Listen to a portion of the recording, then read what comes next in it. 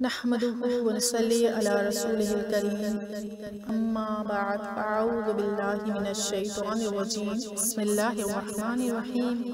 किताब सुन्नी बहिश्ती ज़ेवर हिस्सा अव्वल सफ़ा नंबर सतानवे उन्वान सहाबा किराम रदियल्लाहु ताला अन्हुम ये किताब P A T F Islamic info की जानिब से रिकॉर्ड करवाई जा रही है वो मुसलमान जिसने ईमान की हालत में इसी दुनियावी ज़िंदगी में अपनी जिस्मानी आँखों से रसूलुल्लाह सल्लल्लाहु अलैहि वसल्लम को देखा, अपने ईमान और इस्लाम पर साबित कदम रहा और ईमान ही पर इसकी वफ़ात हुई, इसे सहाबी या सहाबा या असहाब रसूल कहते हैं।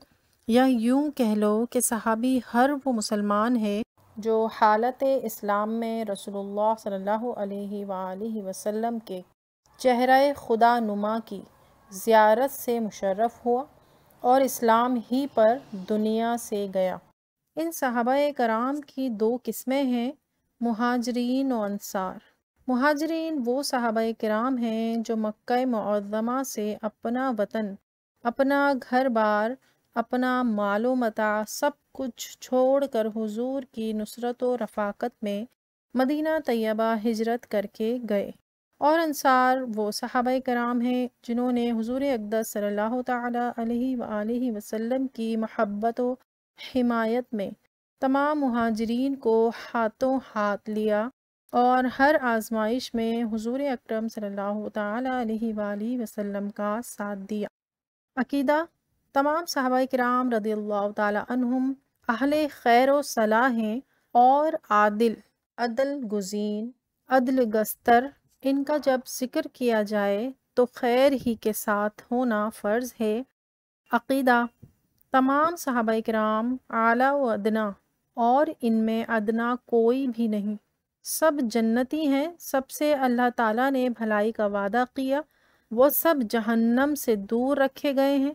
वो जहन्नम की भिनक तक ना सुनेंगे। क़यामत की वो बड़ी घबराहट इन्हें गमगीन ना करेगी। फरिश्ते इनका इस्तकबाल करेंगे। ये कहते हुए कि ये है तुम्हारा वो दिन जिसका तुमसे वादा किया था। रसूलुल्लाह सल्लल्लाहु अलैहि वसल्लम के हर सहाबी की ये शान अल्लाह अज्जा बताता है। और कुतुब अहदीत तो इनके फ़ज़ाइल से माला माल हैं। इनकी कदर मंजिलत वही खूब जानता है जो सैदुलमरसलिन सल्लल्लाहु अलैहि की इज़्ज़त व रिफ़ात से आगाह है। इसीलिए रसूलुल्लाह सल्लल्लाहु अलैहि ने इरशाद फरमाया, खुदा से डरो, खुदा से डरो। मेरे असहाब के हक़ में मेरे बाद इन्हें निशाना ना बना लेना। जो इन्हें दोस्त रखता है, मेरी मोहब्बत से इन्हें दोस्त रखता है। और जो इनका दुश्मन है, मेरी अदावत से इनका दुश्मन है। जिसने इन्हें ईज़ा दी, इसने मुझे ईज़ा दी। और जिसने मुझे ईज़ा दी, इसने अल्लाह ताला को ईज़ा दी। और जिसने अल्लाह ताला को ईज़ा दी तो करीब है कि अल्लाह ताला इसको गिरफ़्तार करे। तिरमिज़ी शरीफ। अकीदा, किसी सहाबी के साथ सुए अकीदत, यानी बदअकीदगी, बदमजहबी व गुमराही और जहन्नुम की रू सियाही है। कि वह हुजूर अकदस सल्लल्लाहु अलैहि वसल्लम के साथ बुगज़ है। ऐसे का शुमार राफसियों ही में होगा। अगरचे चारों खुलफाओं को माने और अपने आप को सुन्नी कहे। अकीदा।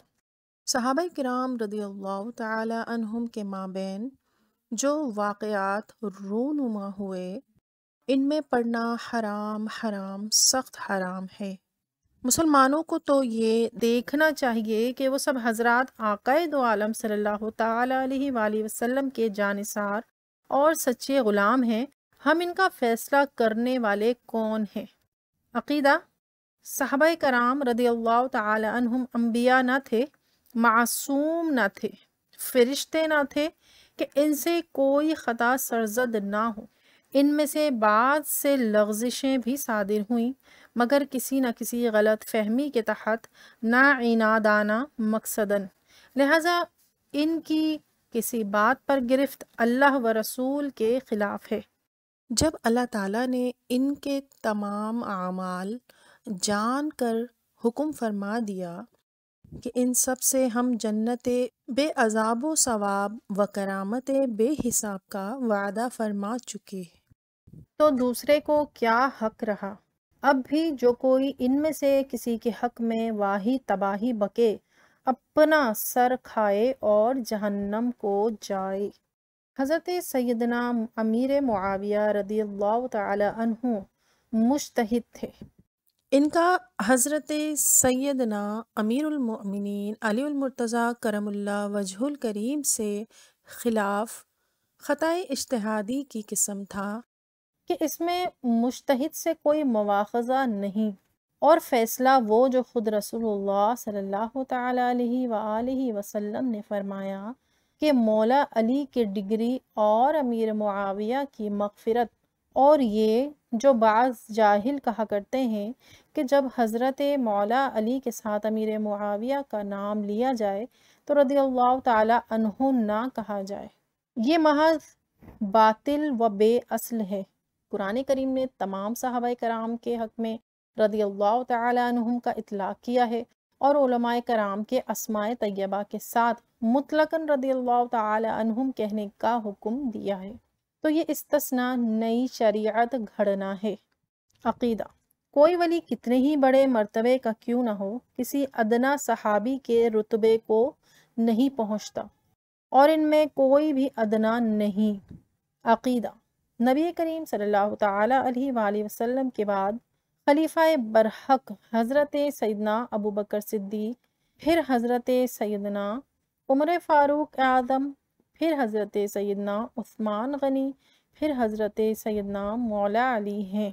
फिर छः महीने के लिए हज़रत इमाम हसन मुशतबा खलीफा बरहक हुए रदी अल्लाह तहुम इन हजरात को खुलफ़ा राशिदीन और इनकी खिलाफत को खिलाफत राशिदा कहते हैं। इन्होंने हुजूर अकरम सल्लल्लाहु अलैहि वसल्लम की सच्ची नियाबत व जानशीनी का पूरा हक अदा किया। अकीदा, खुलफ़ाए अरबा राशिदीन के बाद अशरा मुबशरा के बकिया अफराद, यानी हज़रत तलहा, हज़रत ज़ुबैर, हज़रत अब्दुलरहमान बिन औफ हज़रत साद बिन अबी वकास, हज़रत सईद बिन जैद और हज़रत अबू उबैदा बिन जरा, हज़रत हसनैन करीमैन व असहाब बदरो असहाब बैत रिजवान के लिए अफजलियत है और ये सब कतई जन्नती हैं। चारों खुलफ़ा राशिदीन और हज़रत तलहा वग़ैरह छः सहाबा सब मिलकर अशर मुबशरा कहलाते हैं। यानी वो दस सहाबा कराम जिनको जीते जी जन्नत की बिशारत मिली और बहिश्ती कहलाए। अकीदा, हज़रत अमीर मुआविया रदील्ला तविल अहतराम आली मुकाम सहाबा कराम में शुमार हैं। अव्वल मलूक इस्लाम, यानी शाहान इस्लाम में पहले बादशाह हैं। इसी की तरफ़ तोरात मुक़दस में इशारा है कि वो नबी आखिरुज़्ज़मा शहनशाह कोनो मका सल्लल्लाहु अलैहि वसल्लम मक्के में होगा। मदीने को हिजरत फरमाएगा व मुल्क हो बिशाम और इसकी सल्तनत शाम में होगी। तो अमीर मुआविया की अगरचे सल्तनत है, मगर किसकी? मोहम्मद रसूलुल्लाह सल्लल्लाहु अलैहि वसल्लम की सल्तनत है।